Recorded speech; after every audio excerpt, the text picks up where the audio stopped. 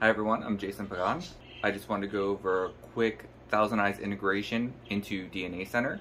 This is new to DNA Center version 2.3.3.4. Now this integration works for the Catalyst 93 and 9400s. So as those enterprise agents do testing in the ThousandEyes portal, DNA Center will be able to pull that data down. So unfortunately, I don't have any 9300s running the enterprise agent right now, but the integration steps will all be the same. Hopefully you guys are taking advantage of that DNA Advantage licensing, get some tests set up on some of your 93s or 9400s, get some polling data for some of your web apps.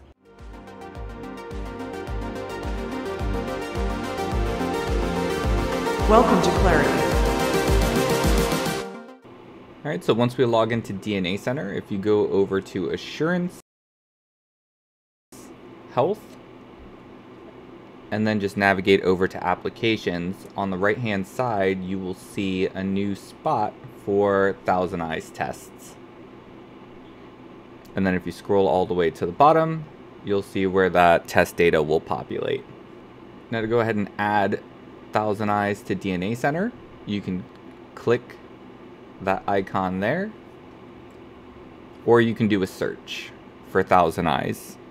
So when in doubt in DNA Center, you can search for just about anything. It'll show you where it is and you can just double click on it and it'll pop out. Then using the link, we can go ahead and log into ThousandEyes. And then we need to generate an authentication token in ThousandEyes for DNA Center.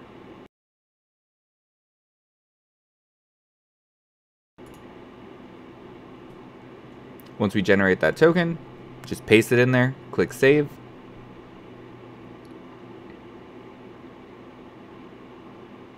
And then we can go back to assurance, health, and application.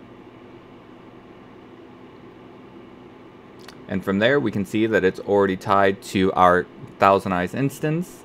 Unfortunately, like I said earlier, I don't have any 9300s running ThousandEyes right now uh, set up in the lab, so I'm going to try and get something working on that in the future. So that's it. It's literally that simple. Um, again, if you have Advantage licensing on some of your 93 or 9400s, highly recommend that you take advantage of this. If you guys want a video on how to set up an enterprise agent on your Catalyst 9300, just let me know in the comments. And that's something that we can go ahead and walk through as well. Thank you guys. I hope this helps and enjoy.